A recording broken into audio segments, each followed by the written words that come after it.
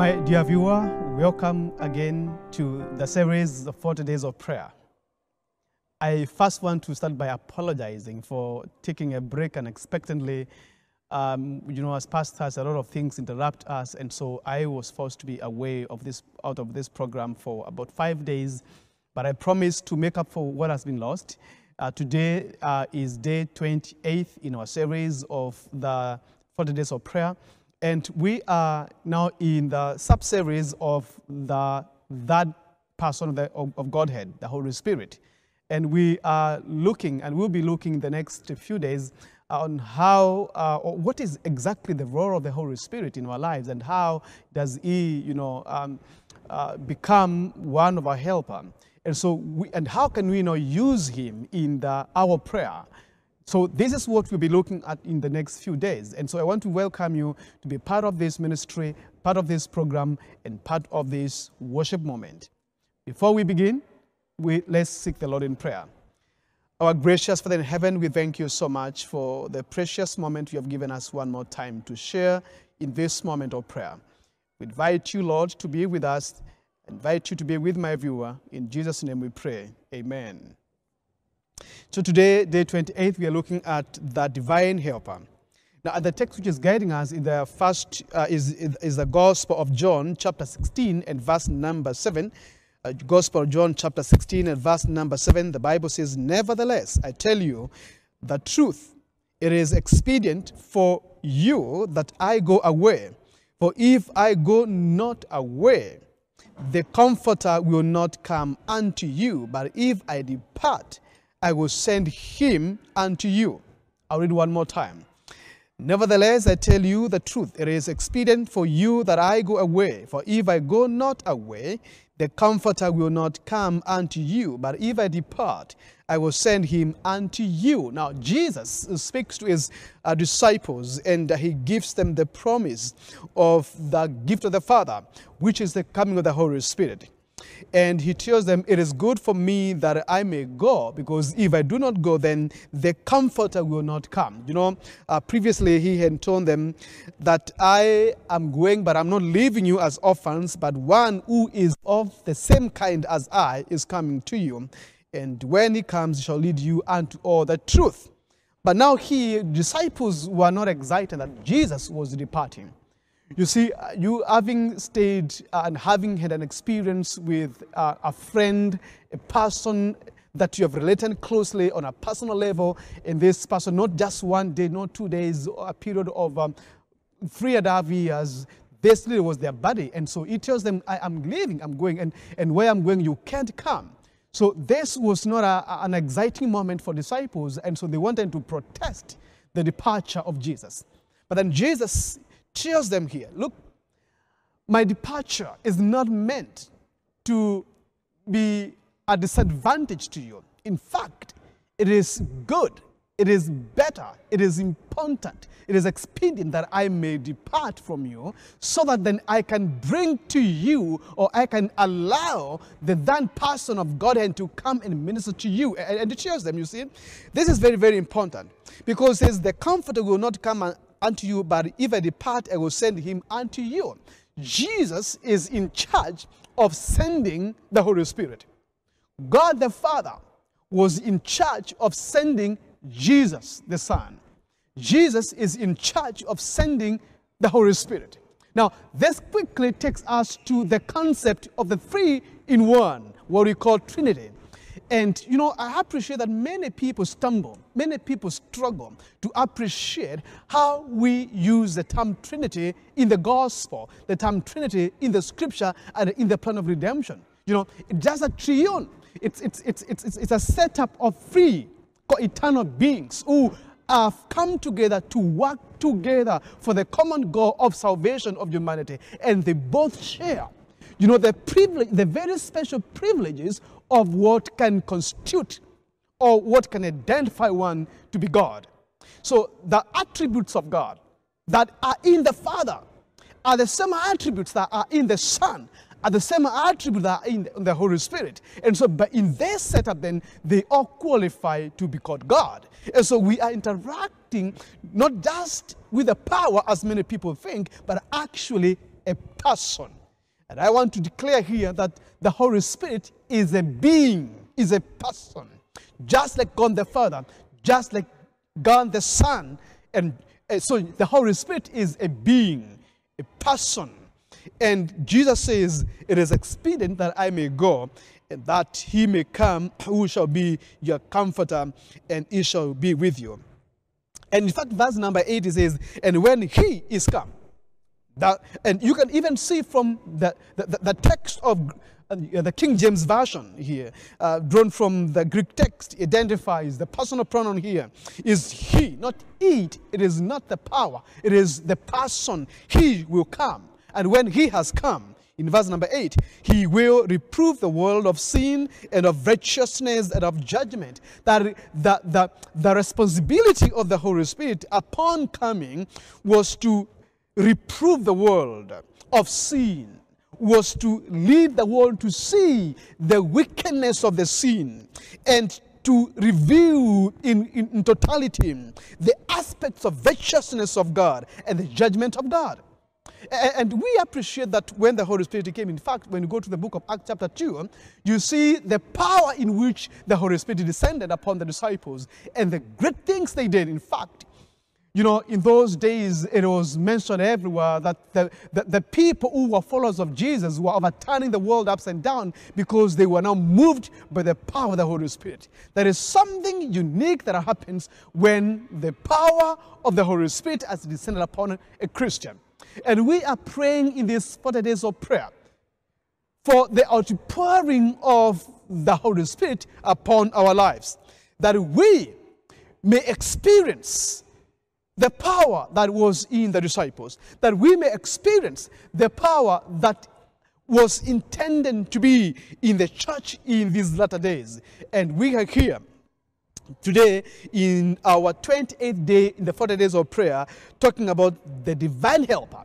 So, and so Jesus says, it's good for me to go that your helper may come and this one is of the same kind as I am. You know, I, I, I, I, just move out of the sin bodily, but then the privileges that you had, the opportunities you had in me, the advantages you had in me, the resources you had in me will be in no way be removed from you. In fact, they shall still be with you because whoever, the one who is coming is just like me. He is the same kind as me, as myself.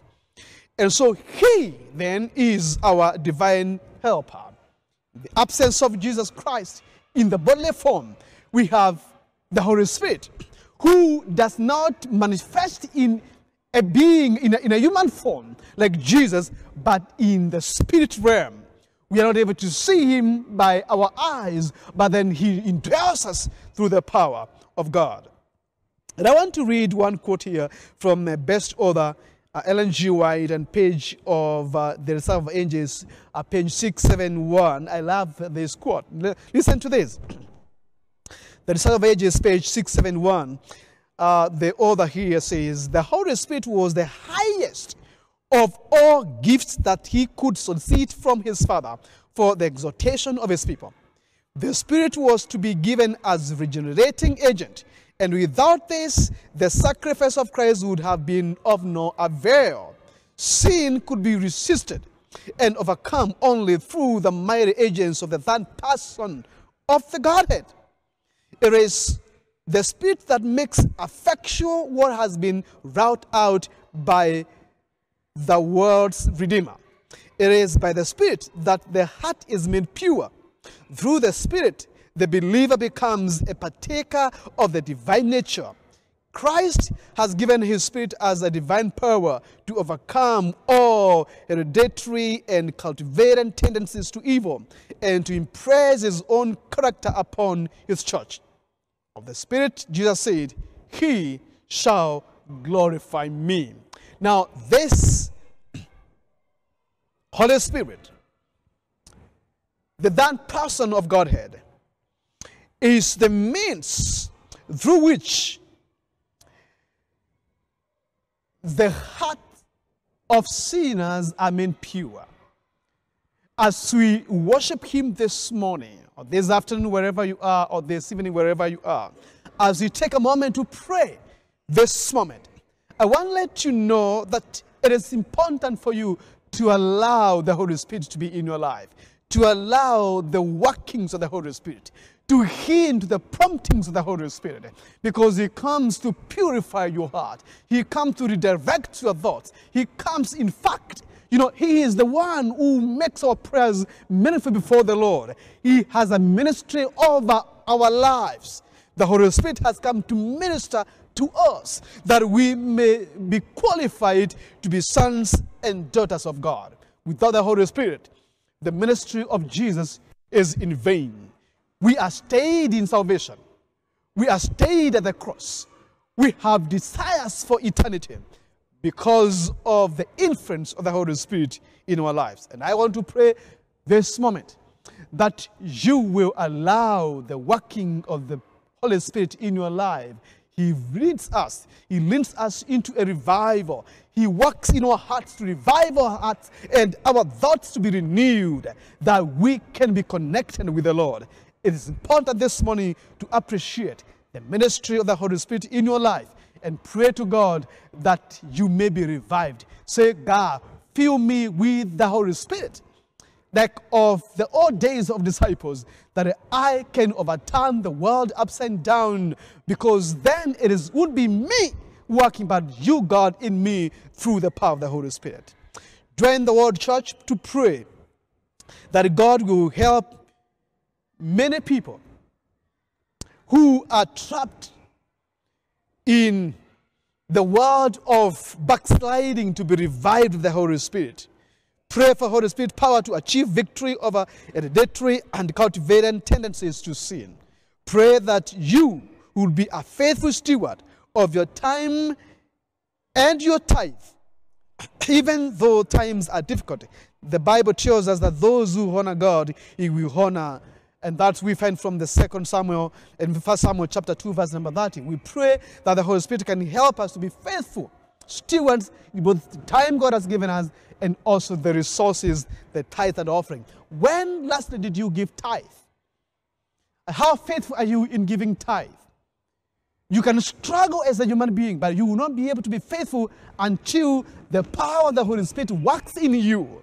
And we are praying today for a sweet spirit of unity among the general conference sessions delegates that are now almost starting and many and know now people are traveling to go for the session. And we are praying that god will be in these meetings to make sure that he appoints for the church the men and women that are, will be filled with the spirit of god.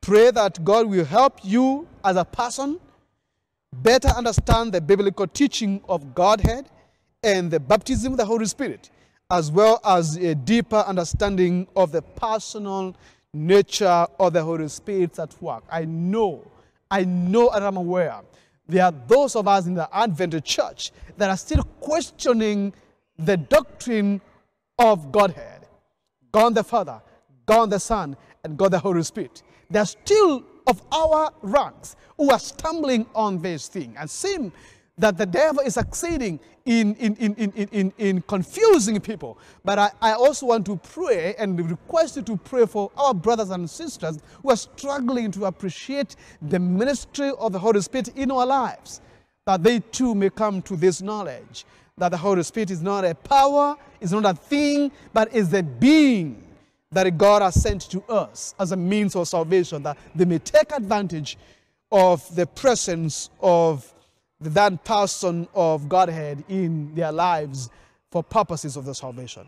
So join with me as we pray together. Gracious Father in heaven, we thank you so much for the privilege of this moment of prayer. We thank you for the presence of the that person of Godhead, the Holy Spirit, whom you have sent to come to be our helper. And Lord, that in him today we, we, we live, and in him today we find our being through him lord. We are connected with you the father and god and jesus christ. And through him we are forgiven our sins because he is able to intercede for us with groans that we cannot even understand. We thank you for this gift oh father. And we pray today the lord that you may forgive our sins, those who are struggling to appreciate the importance of the Holy Spirit in our lives. Those who have taken Him lightly and, and neglected Him in their lives, Lord, we pray that you can forgive them and lead them to all the truth to understand that this is not just a power, but it is a being, it is God in us who moves us and convicts us of our sins, He who revives our spirit. The Lord, we can be revived today and we can be equipped even for eternity.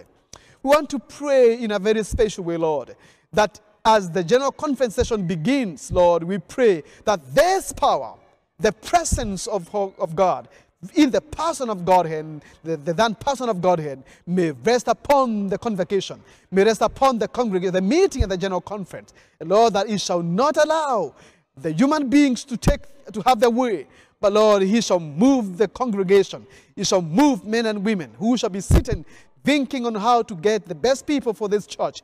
The Lord, for the first time, we will say, we are all content because of what the power of the Holy Spirit has done in our meetings for the General Conference.